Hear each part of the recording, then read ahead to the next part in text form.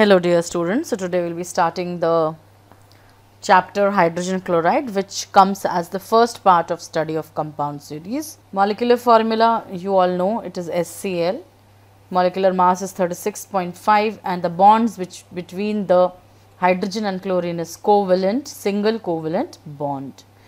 You can see here the figure, this is hydrogen and this one electron is contributed by hydrogen and one electron is contributed by chlorine and thus they share one pair of electron. This is the structure and electron dot structure of hydrogen chloride. Glauber uh, in 1648 prepared this acid by common salt. So, he heated this common salt and sulfuric acid and got uh, HCl and he and Lavoisier named it as muriatic acid. And why it is known as muriatic acid? Actually in olden uh, olden times muriatic means uh, prepared from or pertaining to salt or brine. So, brine is that salty water concentrated salt and water solution is known as brine. So, because it was pertaining to brine or salt and it was prepared from rock salt earlier around 800 uh, AD. So, later on it was also prepared from NaCl which is a salt. So, that's, that is why its name came to be, its name became muriatic acid that is pertaining to salt or brine. The original name that is hydrochloric acid was given by Davy in 1810 and from where you get it naturally occurs in free state in volcanic emissions.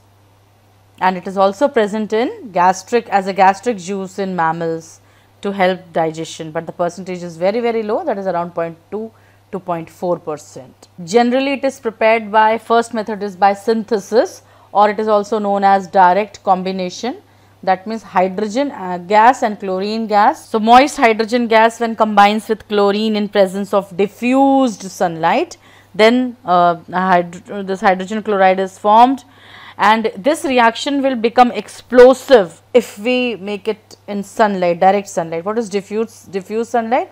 Diffuse sunlight is not direct sunlight, it is scattered sunlight. Okay. So, if you do this reaction in uh, direct sunlight, it will be very um, explosive and if you do it in dark, nothing will happen. So, that is why diffuse sunlight is uh, important. But, but suppose you want to do this reaction in dark, then you have to use uh, activated carbon as catalyst and what is the role of activated carbon because activated carbon absorbs hydrogen which it increases reactivity. So, this is the reason why activated carbon is used and it is also produced by burning jet of hydrogen when it is a lot of hydrogen is coming out and then burned in chlorine thus hydrogen chloride is formed. And then second method is by heating metal chlorides with concentrated sulfuric acid.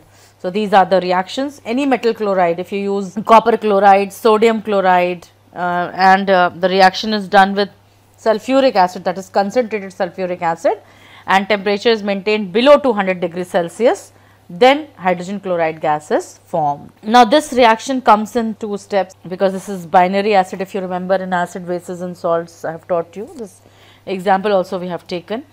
So, if the temperature is less than 200 degrees Celsius that NaHSO4 is formed and when the temperature is increased then Na2SO4 is formed and with copper chloride, copper sulphate and HCl gases form. Okay, so now look at the setup how uh, laboratory preparation is done here. Mm, in this method NaCl is taken, this is NaCl, NaCl is taken in a round bottom flask or a flat bottom flask because the both can be heated at high temperature. And then through the thistle funnel, this is the thistle funnel. In from this Thystel funnel, concentrated H2SO4 is poured over NaCl drop by drop and then this reaction proceeds slowly in the cold. But suppose if you heat it, then you can see the effervescence of HCl gas, but in a controlled manner and from this delivery tube HCl has to pass through concentrated H2SO4 and why it is passed through H2SO4 because it is dried here. Okay? In this it is dried. So, concentrated H2SO4 in this flask acts as a drying agent. And then from here dried HCl gas is collected here by the upward displacement of air. So, it can be collected by the upward displacement of air. And why upward displacement? Because it is it is heavier than air it is dense than air. This method which is known as upward displacement of air is also known as downward delivery. ठीक है दो नाम है इसके एक तो उसको हम बोलते हैं downward delivery of that gas that is SCL या upward displacement of air. So both the terms you have to learn that SCL gas can be collected by the downward delivery or it is also known as upward displacement of air and why it is so because it is 1.28 times heavier than air and why it is not collected over water because it is highly soluble in water okay remember this HCl gas is highly soluble that is why it is not collected over water यहाँ पे water नहीं ले सकते हैं just generally cases में लेते हैं because it is highly soluble and this setup which we have seen these are the precautions to be taken while you are preparing HCl gas the lower end of the Thistle funnel must be dipped in concentrated sulfuric acid and the delivery end should be dipped in drying agents that is concentrated H2SO4. So, these are the two precautions. Third one is temperature should be maintained at nearly 200 degrees Celsius and why is it so? Because if you go to higher temperature that is above 200 degrees Celsius, the apparatus which is made of glass may crack, fuel is wasted and sodium sulphate is formed which forms a hard crust which sticks to the glass and is difficult to remove. If you go to uh, go above 200 degrees Celsius. If you remember, we have seen those two steps where, so if you go above 200 degrees Celsius, sodium sulphate is formed which sticks to the glass and thus it, you cannot, you are not able to take it out which sticks to the glass. And these are the reactions of this laboratory preparation of hydrogen chloride gas. This reaction is very, all the reactions are very important and these reactions have been asked in the year 2020 in the board exams okay all the reaction uh, preparation of hydrogen chloride gas in the laboratory. Now you can see here NaCl is added to H2SO4 under 200 degrees Celsius.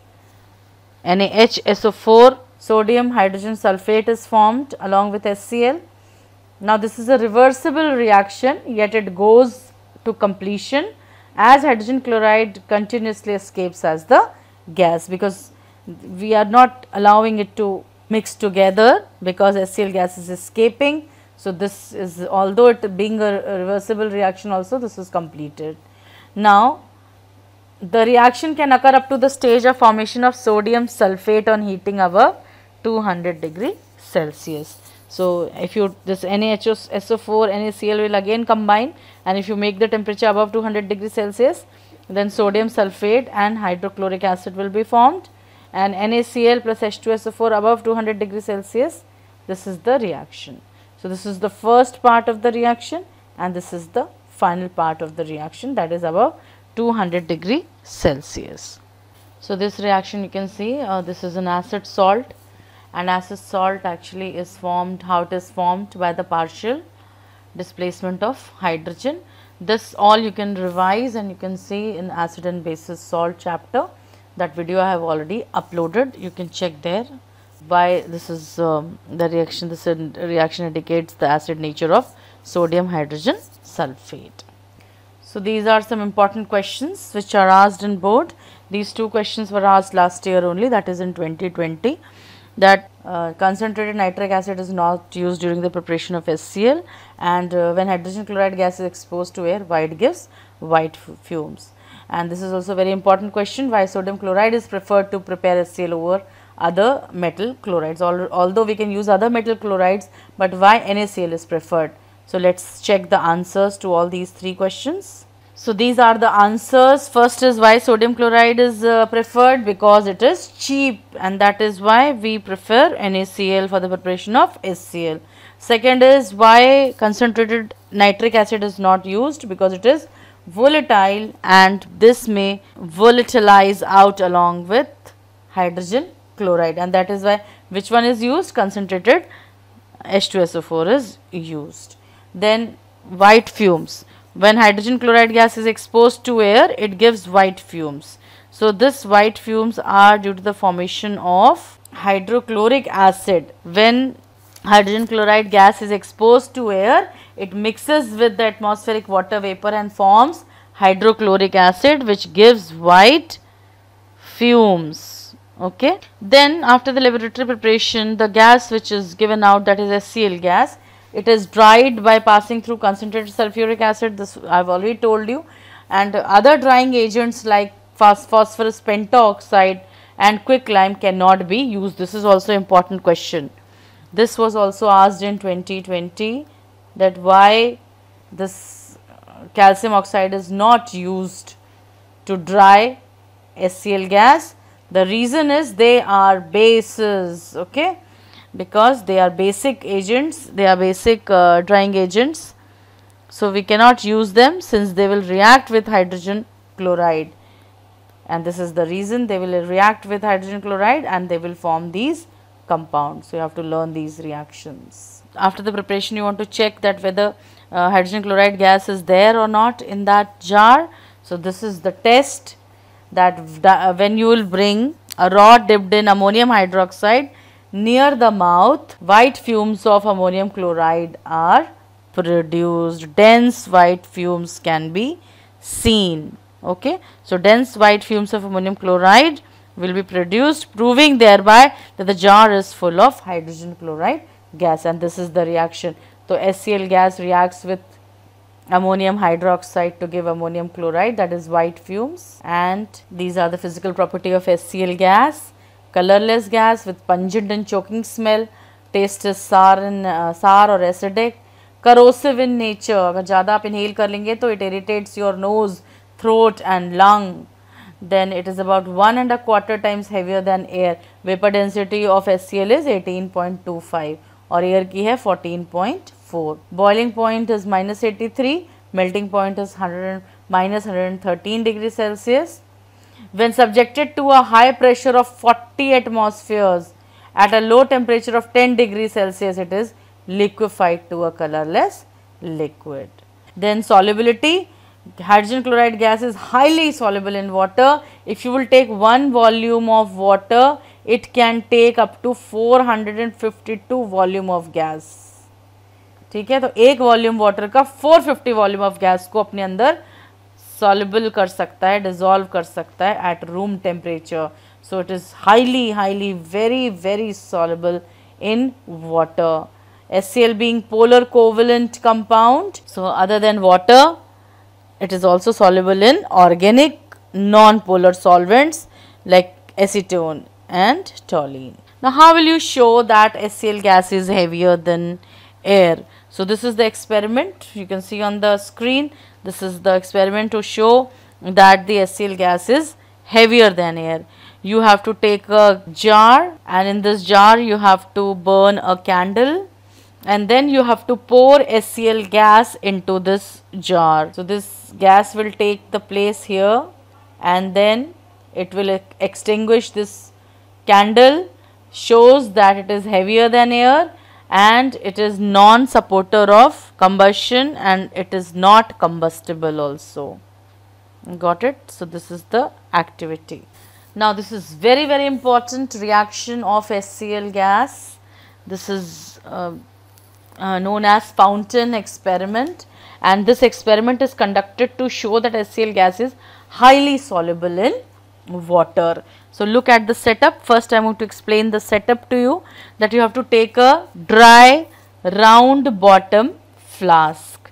This is the round bottom flask which is taken and it is filled with HCl gas. HCl gas is filled in this round bottom flask and then you have to set up the arrangement as as this where this gas is perfectly sealed it will not come out of this uh, jar and then you have to put a dropper filled with water okay there's a dropper filled with water like this it is fixed here on this position and this rubber stopper which is there this is rubber stopper this rubber stopper has got two holes in it one hole through one hole a long jet tube this is the long jet tube which is passing okay long jet tube और यहाँ पे इसमें एक hole है इस jet tube में So, a long jet tube is present uh, is inside this round bottom flask from one end of that hole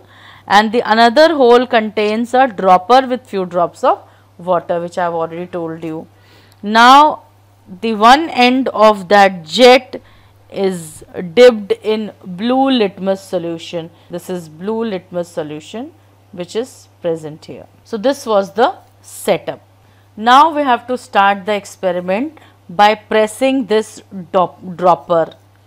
As soon as you press this dropper, the water will come here inside this flask. As soon as the water enters, water enters the flask, the HCl gas which is present inside will get dissolved in this water and the pressure here decreases. Pressure decreases. Why pressure decreases? Because the gas which was present, HCl which was present here in the round bottom flask will get dissolved in water and it will create a vacuum kind of thing there.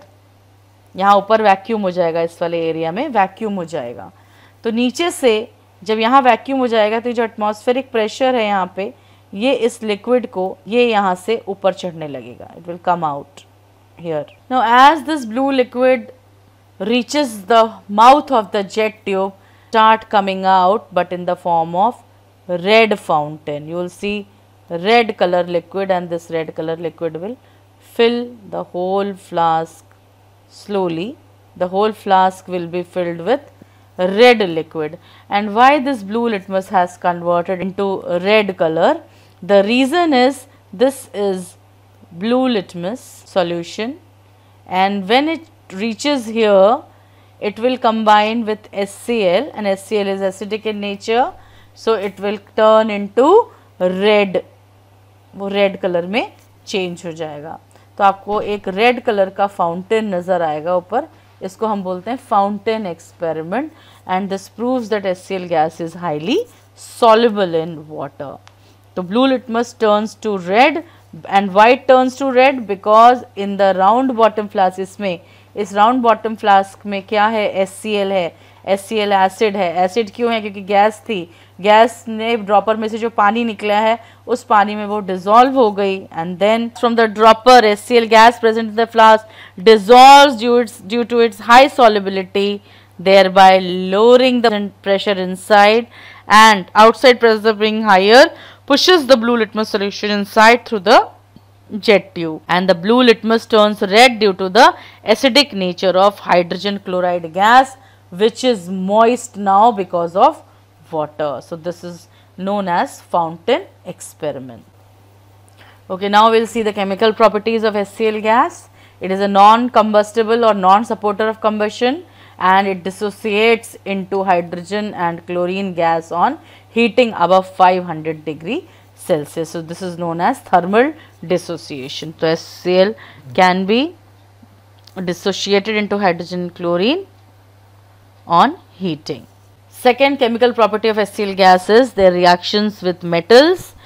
The metals which come above the hydrogen in the electrochemical series, they will form their corresponding chlorides when heated with HCl and they will give out hydrogen gas like example sodium. Sodium is above hydrogen in the electrochemical series or activity series. So, it will replace this H here and take the place of H that is it will form NaCl and hydrogen gas will be displaced. This will happen with all the metals who are above the series above the hydrogen in the activity series and thus replacing hydrogen to form metal chlorides and hydrogen gas.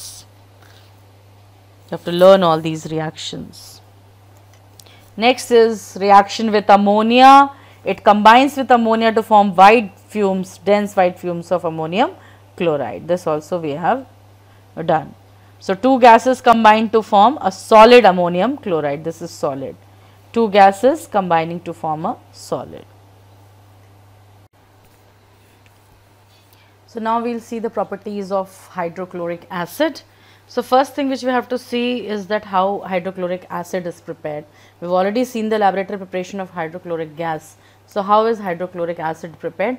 Hydrochloric acid is prepared when hydrogen chloride gas is dissolved in water तो अगर आपने पानी के अंदर hydro hydrogen chloride gas को dissolve कर दिया तो वो हाइड्रोक्लोरिक एसिड बन जाएगा ठीक है now this hydrochloric acid which is form what happens actually S C L ionise in water due to its polar nature दोनों पोलर है वाटर भी पोलर है एंड एस सी एल भी पोलर है. Both have slightly positive and slightly negative charge right so what will happen that this slightly negative and slightly positive charge creates hydronium ion and clo chloride ion इसको हम H plus भी actually मैंने जब आपको acid bases पढ़ाया था I told you although it is told as H plus but this is very unstable it will combine with water to form H3O plus ion.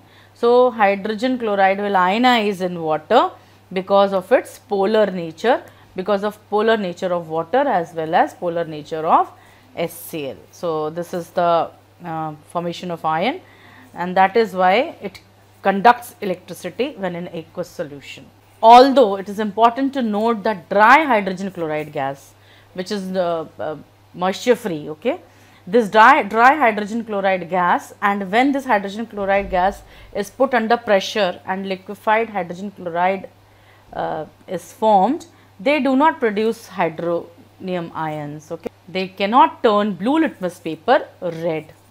And thus it shows the non-acidic character of the dry gas. That means dry hydrogen chloride gas is non-acidic or liquefied hydrogen chloride. I am talking about liquefied hydrogen chloride. Liquefied का मतलब है कि उसमें पानी नहीं है है ना? जब हाइड्रोजन क्लोराइड गैस को प्रेशर लगा के हम उसको लिक्विफाई करते हैं, वो है ये लिक्विफाइड तो वहाँ पे क्या नहीं है? हाइड्रोनियम आयन फॉर्मेशन नहीं है, इसीलिए it is non acidic that is why it will not turn blue litmus paper red लेकिन अगर मॉइस्ट लिटमस पेपर ले लेंगे then it will turn red okay? Liquefied hydrogen chloride and dry HCl gas does not conduct electricity due to the absence of ions and this shows that they are covalent compounds they are not ionic compounds conduct electricity while liquefied hydrogen chloride and dry HCl does not conduct electricity because they have absence of ions because they are covalent compound but how do because we have studied in chemical bonding that polar covalent compounds conduct electricity. Then this is also important to note that the gas, this um, HCl gas is soluble in water that you know, but it is also soluble in organic solvents like toluene. When they are in solution state like with toluene, then also it neither turns blue litmus red nor conducts electricity because of the absence of hydronium ion. This ion is not present that is why it will not conduct electricity. Now we will learn the laboratory method of preparation of hydrochloric acid that how this uh, we know that we just have to mix the gas and water, but how this is done uh, it is in the lab it is done with the arrangement known as funnel arrangement. So, this kind of arrangement which is done which is done to make HCl uh, acid is known as funnel arrangement. And now why this funnel arrangement? The reason is that if I take simply a pipe, a narrow pipe and dip it here in the water and pass HCl, suppose I am passing HCl here, HCl gas. Now this water, this water because it is highly soluble in water, this water will dissolve this gas and will create a low pressure here. Now because of this low pressure, this atmospheric pressure will put on this water and the water will rise up in the pipe and when this water will rise up it can reach from where the HCl gas is produced. So, it can just go and fall in concentrated H2SO4 where actually you know that HCl gas is prepared with concentrated sulfuric acid or dried with concentrated sulfuric acid. When this concentrated sulfuric acid if this water reaches it might be it, it might stop the reaction or it might be exposed explosive. So, this is known as back suction. Now, to stop this back suction, what they said that okay, we should use a funnel kind of arrangement. First of all, it will increase the surface area for absorption. अभी क्या है यहाँ से भी gas absorb S gas आ रही है तो पानी उसको यहाँ से भी एब्जॉर्ब कर रहा है यहाँ से भी एब्जॉर्ब कर रहा है यहाँ से भी so longer bigger surface area to absorb gas तो एकदम से यहाँ पे क्या नहीं कर लो प्रेशर नहीं आएगा जितनी देर में गैस एब्जॉर्ब होगी उतनी देर में यहाँ से SCL गैस आ जाएगी already the production is less than the absorption जिस स्पीड से ये पानी SCL गैस को एब्जॉर्ब कर रहा है, उस स्पीड से यहाँ पे प्रोडक्शन नहीं हो रहा है.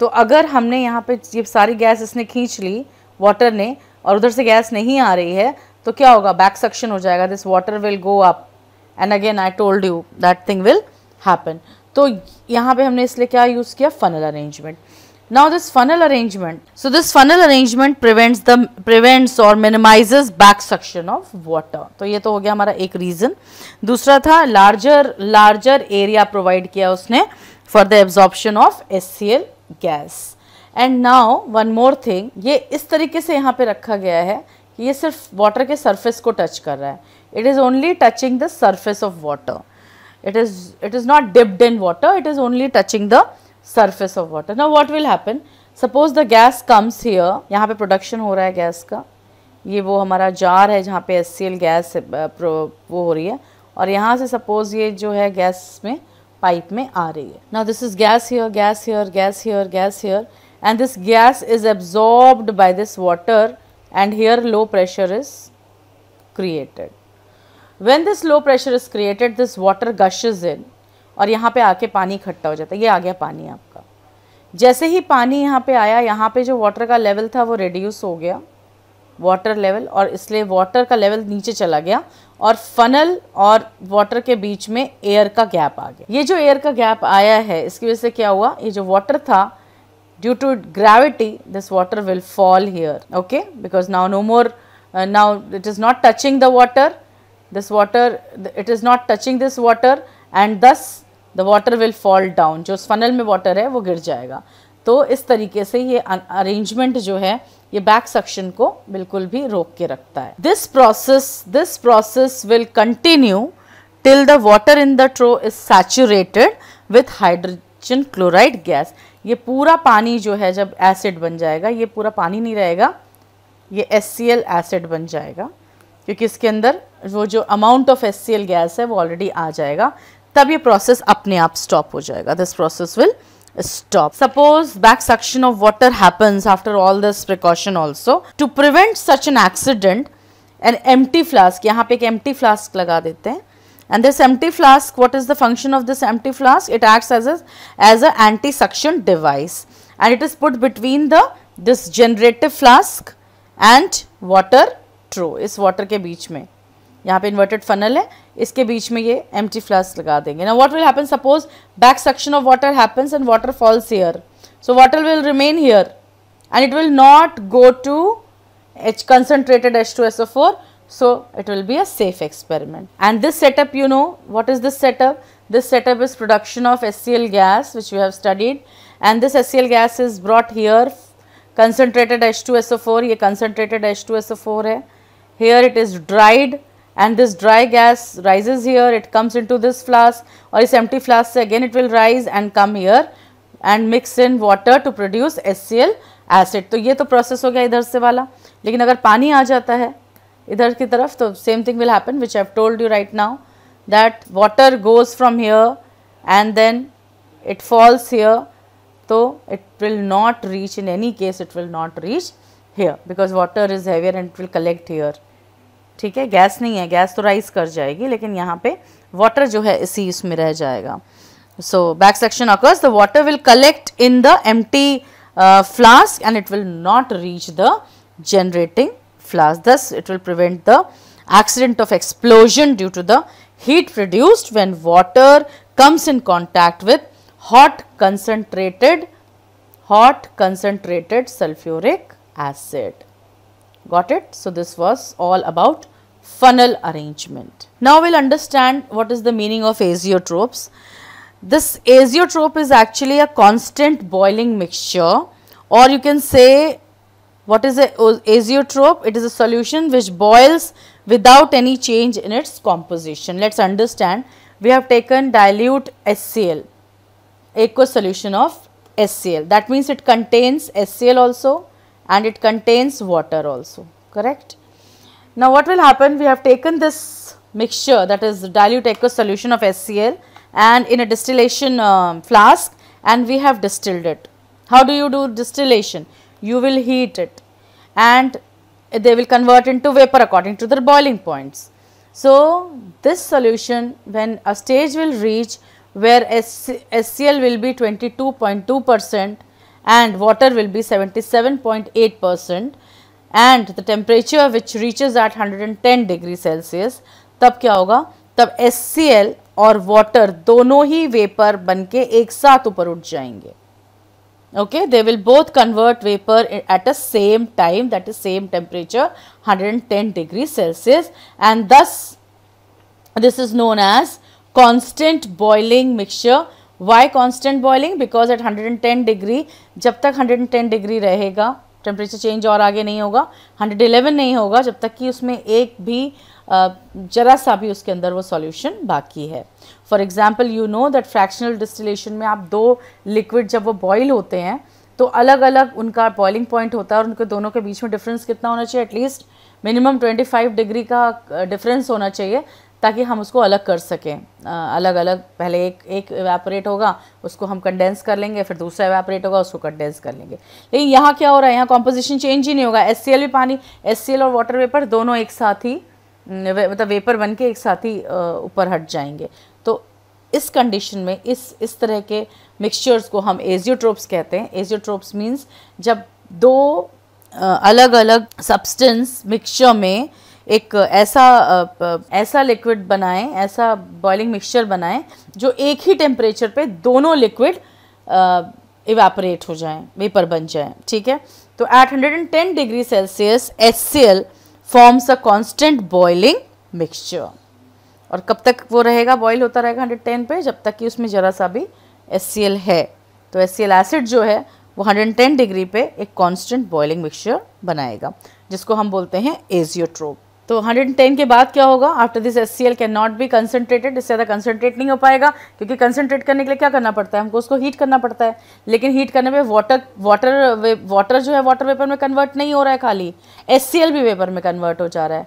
तो बस इस, इससे ज़्यादा हम कंसनट्रेट नहीं कर सकते डिस्टिलेशन से। और इस तरह के मिक्सचर को, जो कि कॉन्स्टेंट बॉइलिंग मिक्सचर है 110 डिग्री पे दोनों ही कन्वर्ट हो जाएँगे वेपर में and there will be no further increase in temperature and कब तक नहीं होगा? जब तक whole liquid does not get vaporise so another name for constant boiling mixture is azeotrope you will study about this thing in higher classes ना let's see the physical property of hydrochloric acid acid की क्या properties हैं? Colourless होता है pungent choking smell होती है, सार an acidic concentrated acid if falls on your skin can cause blisters छाले हो सकते हैं, जल सकते हैं आप. It is very corrosive in nature very much soluble in water in all proportion जैसे हाइड्रोक्लोरिक गैस सॉलेबल है, वैसे ही हाइड्रोक्लोरिक एसिड भी सॉलेबल है वाटर में.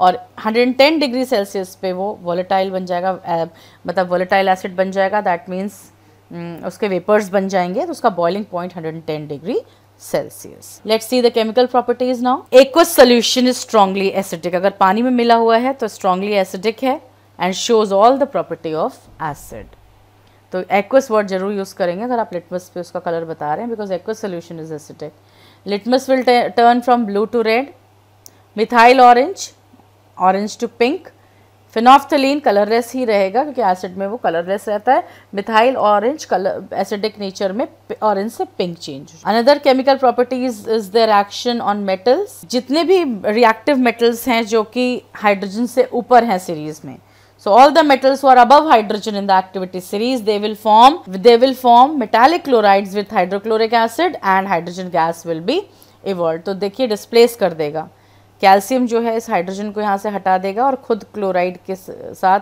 कंपाउंड बना देगा कैल्शियम क्लोराइड और ये हाइड्रोजन जो बेचारी डिस्प्लेस हुई थी ये यहाँ पे हाइड्रोजन गैस बन then comes oxides and hydroxides के साथ metallic oxides and hydroxides are basic in nature and because this is base and this is acid so what it will give it will give salt and water neutralization reaction हो जाएगा तो याद रखेंगे metallic oxides and hydroxides because they are bases they will form salt and water only you have to remember this तो ये जो ऊपर वाला इसका मेन जो चीज़ है इसका हेडिंग है ये अगर ये हेडिंग आपने याद कर लिया अच्छे से तो आप सारे रिएक्शंस खुद बना सकते हैं कि मेटालिक ऑक्साइड्स एंड हाइड्रोक्साइड्स के साथ सिर्फ़ सॉल्ट एंड वाटर बनेगा। देन कार्बोनेट्स के साथ क्या होगा? कार्बोनेट्स एंड हाइड्रोजन कार्बोनेट्स के साथ। कार्बोनेट्स एंड हाइड्रोजन कार्बोनेट्स के साथ अभी जो पीछे दो चीज़ें बनी थी सॉल्ट एंड वाटर वही बनेगा।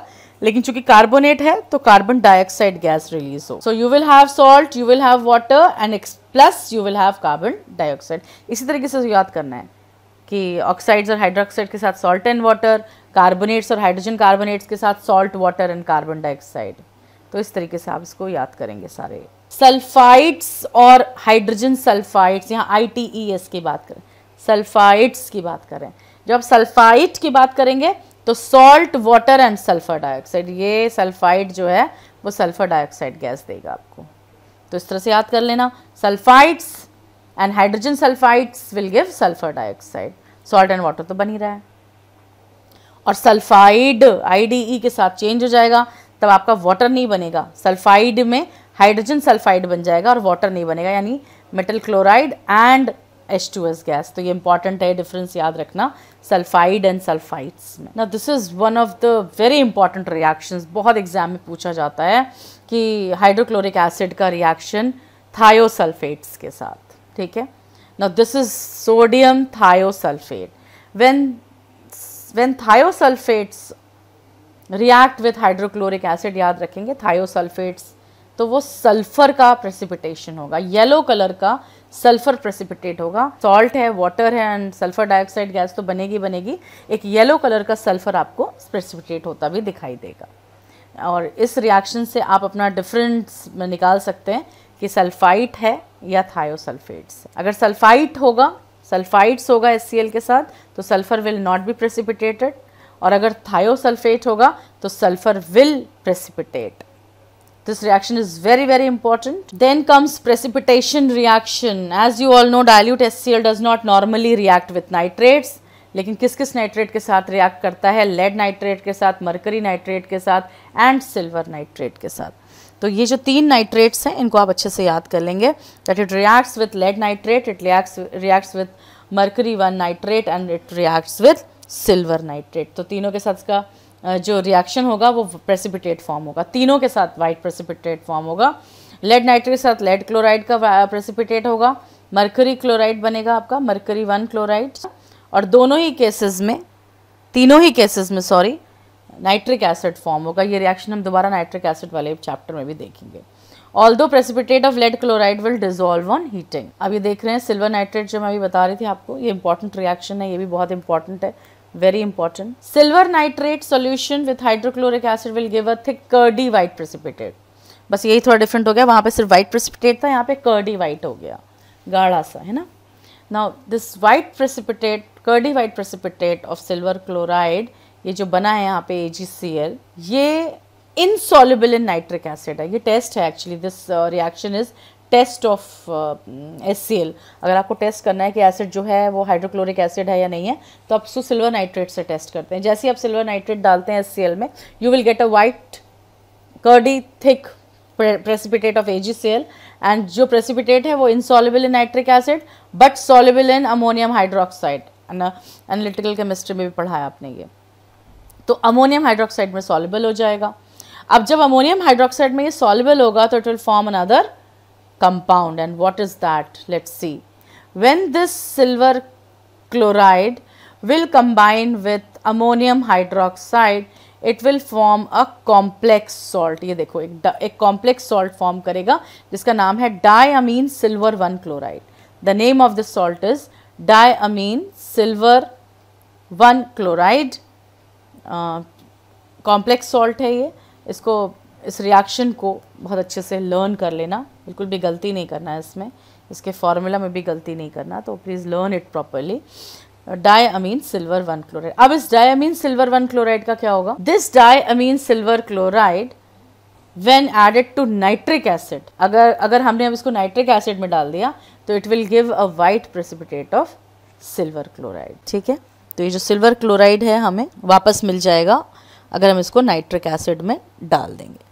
ठीक है? तो ये हमारा, पहले क्या हुआ था? हमारा सिल्वर क्लोराइड को हमने N H four that is ammonium hydroxide में डाला था तो हमें ये ये मिला था, और इसको अगर हमने नाइट्रिक एसिड में डाल दिया तो हमें सिल्वर क्लोराइड मिल जाएगा वाइट प्रेसिपिटेट और ये जो सिल्वर क्लोराइड है, अगर हम इसको एक्सपोज करते हैं लाइट में तो what will happen it will form which is liberated as a fine black powder and this is test of hydrochloric acid and also for chloride ion अगर आप चेक करना है कि जो आयन्स हैं वो chloride negative ion chloride ion है या नहीं है तो उसको सिल्वर नाइट्रेट से टेस्ट करते हैं thick curdy white precipitate which is insoluble in in H N O three but soluble in ammonium hydroxide अब आ जाता है हमारा uses of hydrochloric acid so first use is preparation of aqua regia ना what is aqua regia aqua regia is three part of concentrated H C L and one part of concentrated nitric acid it will give a compound nitrosyl chloride and water and nascent chlorine. ये जो nascent chlorine है,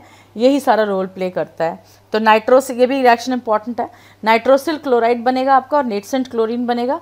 और ये जो nascent chlorine है it helps to make a soluble chlorides of noble metals like gold and platinum तो golden metal को आप किसी चीज़ में सॉलिबल नहीं कर सकते। तो इनको आप सॉलिबल अगर आपको करना है तो उसके लिए एक्वारीजिया होना चाहिए। तो this aqua regia is nothing but three parts of concentrated HCl and one part of concentrated HNO3. So, this is this nascent chlorine will make gold 3 chloride and with this nascent chlorine will create platinum 4 chloride that is soluble uh, compounds of gold and platinum. तो jewelers use करते हैं इसको aqua regia को. Then it is used in the manufacture of chlorine and chlorides example ammonium chloride which is used in dry cell. Some dyes, drugs, paints, photographic chemicals, glucose from starch. So these are all uses of HCl.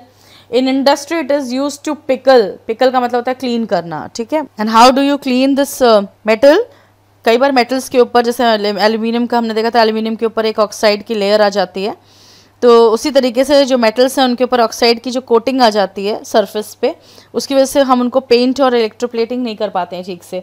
So what happens this H C L actually is use to clean those metals it will dissolve those oxides and make it and clean the surface so that after that they can be electroplated and they can be galvanize they can be painted and this process in the industry to clean the metal with the, to clean the oxide layer of the metal with HCl is known as pickling, okay? Pickle बोलते हैं उसको। The next use is for purifying bone black. Bone black, जब हम animals की bone को जला देते हैं चार कर देते हैं तो वो जो जला हुआ, जो ग्रैनुलर मास बचता है ब्लैक कलर का, उसको बोन ब्लैक कहते हैं।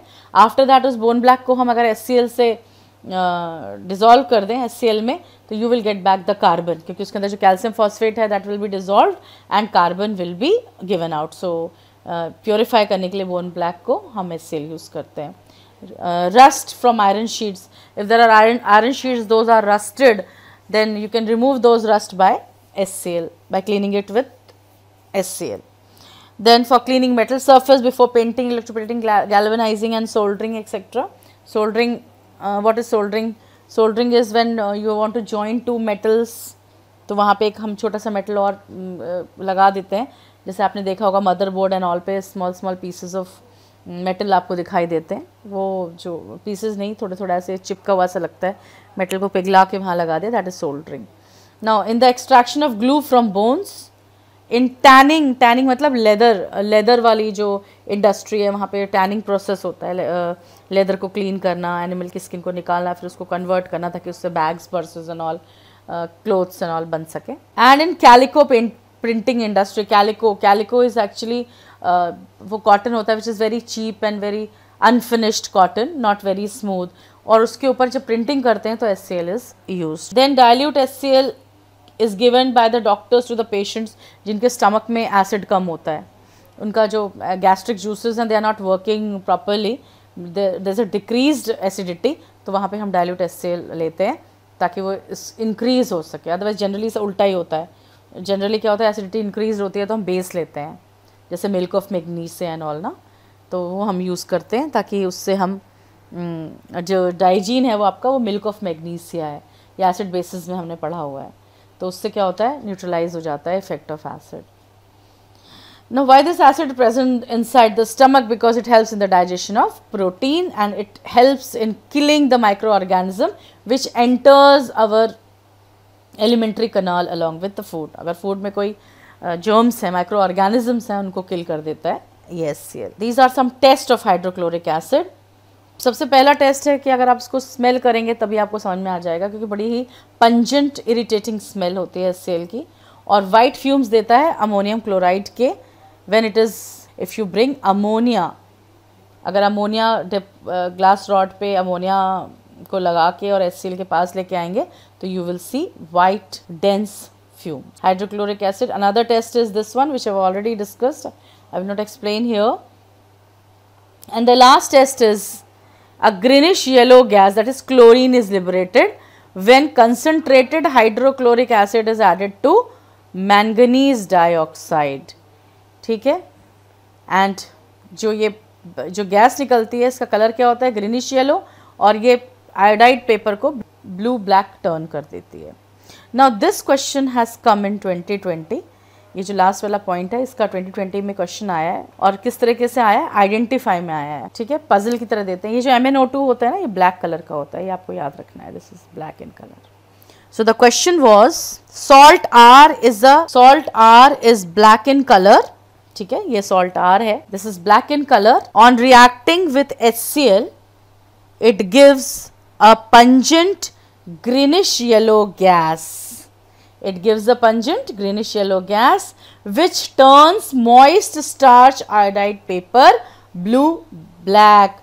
Name the salt या identify the salt.